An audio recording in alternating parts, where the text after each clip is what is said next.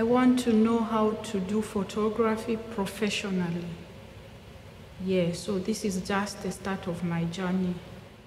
I love the beauty of nature, just small, small things. I've always had a passion for photography.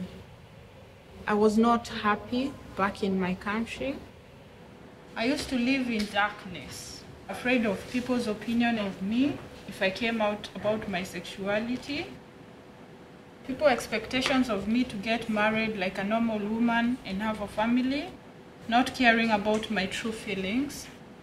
I left my kid back in Kenya. The first thing that I want is to see him here. Yes, I want to give him a better future, a future of choices. The photography workshop has helped me a lot. I'm now able to take photos. It has helped me to show who I am and the smile I'm holding now.